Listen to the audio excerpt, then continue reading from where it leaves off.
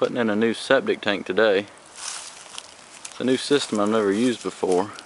It's just a little septic tank from a horse barn here. The four inch discharge pipe.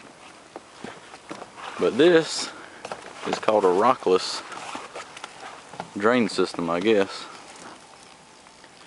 Four inch PVC runs into these like 12 inch tubes. It's got the drain pipe going down the center. They're full of, full of uh, packing peanuts. Say it's uh, same as gravel. A lot easier to put in. It's got a little net that keeps them all in place and some fabric on top. The state approves it, so it must be okay. I don't know.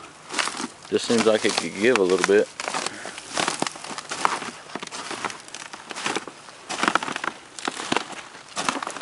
How the four inch pipe goes right through the center of it. Got a little more peanuts on the bottom where all the water goes through. Got a slotted pipe and a piece of fabric to keep the dirt out of them. Whatever works.